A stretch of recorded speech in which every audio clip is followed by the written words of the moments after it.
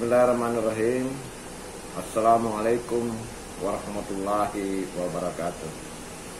Saya Haji Abdul Rauf Maragani Esos MSC Wakil Bupati Goa menyatakan bahwa bila mana ada orang yang mengatasnamakan saya sebagai wakil Bupati Goa menggalan dana untuk kepentingan apa pun juga baik itu untuk dana pesantren maupun yang lain-lain. Saya tidak pernah melakukan hal seperti itu. Itu tidak benar. Itu adalah penipu.